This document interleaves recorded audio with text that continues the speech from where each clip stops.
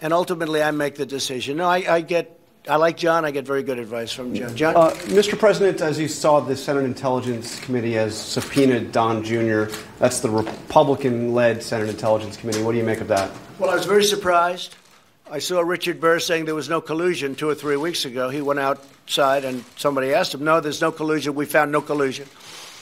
But I was very surprised to see my son. My son's a very good person, works very hard. The last thing he needs is Washington, D.C. He could rather not ever be involved. Remember, he said to me a long time ago when I was thinking about running, Dad, if I could help, let me know. It's not my expertise. It's not something I really like, but whatever I can do, you're my father, whatever I can do. He's now testified for 20 hours or something, a massive amount of time. The Mueller report came out.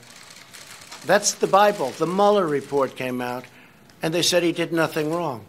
The only thing is, it's Oppo research. If he did wrong, then everybody standing with me, probably, except for John and Lamar, I think Lamar is pretty. I'll tell you, did you ever do Oppo research on an opponent? I don't think so, Lamar, right?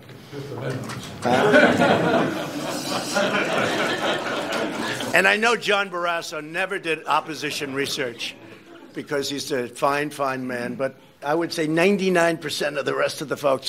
So they didn't. But they, what they didn't discuss is this woman that came in, who I watched her on the Today Show when it all started. Oh, I'm just an innocent. Well, nobody even knows. Although the halls of Congress know her very well because for years she's walked around all over Congress. She came in and she left supposedly GPS Fusion, goes and meets for a short period of time with my son and some other people. They talked about a subject as very well, you know, advertised and put out, which is nothing. It was a nothing meeting. In fact, Jared left. He said, Get me out of this meeting. This is a waste of time. She then went back to GPS Fusion.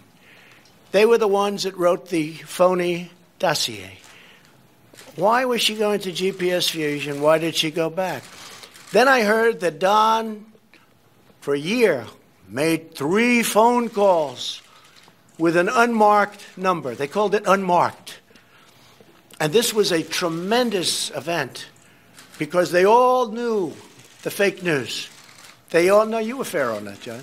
But they all knew that these phone calls, these, these tremendous phone calls, before the meeting and after the meeting, there were, I believe, three, right? They all knew that it had to be to his father. Unmarked, it's perfect. So he reported about the meeting and then reported what happened at the meeting. Except after looking and spending a tremendous amount of time and money, they were able to go back years and find out who made the calls. One was a local real estate developer, the other was a great person from NASCAR.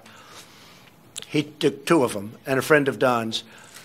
This went on for a year and a half. John, you heard all about the phone calls to obviously the father, where I knew I never knew about the meeting, but the phone calls to the father turned out not to be the phone calls. My son is a good person. My son testified for hours and hours. My son was totally exonerated by Mueller, who frankly does not like Donald Trump, me, this Donald Trump.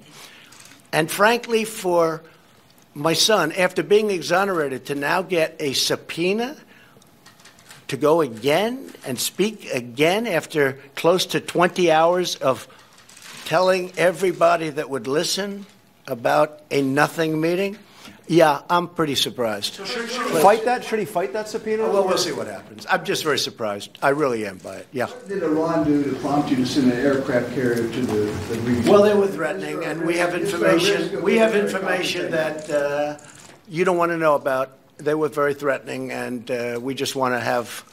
Uh, we have to have great security for this country and for a lot of other places. Risk of military confrontation, sir?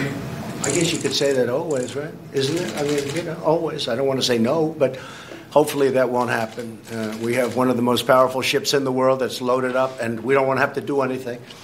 What I'd like to see with Iran, I'd like to see them call me. You know, John Kerry speaks to them a lot. John Kerry tells them not to call.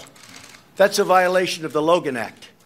And frankly, he should be prosecuted on that. But my people don't want to do anything that's Only the Democrats do that kind of stuff. You know? If it were the opposite way, they'd prosecute him under the Logan Act. But John Kerry violated the Logan Act. He's talking to Iran and has been, has many meetings and many phone calls, and he's telling them what to do. That is a total violation of the Logan Act. Because what they should be doing is their economy is a mess ever since I took away the Iran deal. They have inflation that's the highest number I've ever heard. They're having riots every weekend and during the week, even. And what they should be doing is calling me up, sitting down. We can make a deal, a fair deal. We just don't want them to have nuclear weapons. Not too much to ask. And we would help put them back into great shape. They're in bad shape right now. I look forward to the day where we can actually help Iran. We're not looking to hurt Iran. I want them to be strong and great and have a great economy. But they're listening to John Kerry, who's violated a very important element of what he's supposed to be doing. He violated the Logan Act. Plain and simple. Shouldn't be doing that. But they should call, and if they do, we're open to talk to them. We have no secrets, and they can be very, very strong financially. They have great potential, very much like North Korea. North Korea has tremendous potential economically, and I don't think he's going to blow that. I don't think so. Can I circle back to trade just for a second? Yeah.